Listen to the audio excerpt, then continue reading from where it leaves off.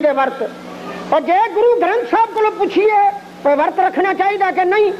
ਇੱਥੇ ਸਾਫ਼ ਲਿਖਿਆ ਛੋਡੇ ਅੰਨ ਕਰੇ ਪਾਖੰਡ ਨਾ ਸੁਹਾਗਣ ਨਾ ਉਹ ਰੰਡ ਫੈਸਲਾ ਹੀ ਸਿੱਧਾ ਹੈ। ਤੇ ਅਸੀਂ ਰੱਖ ਲੈਨੇ ਆ ਵਰਤ ਉਹ ਵਰਤ ਵੀ ਗਾਦਾ ਜੀ ਬਸ ਰੋਟੀ ਨਹੀਂ ਖਾਣੀ ਹੋਰ ਜੋ ਆਵੇ ਸੋ ਬੰਨੇ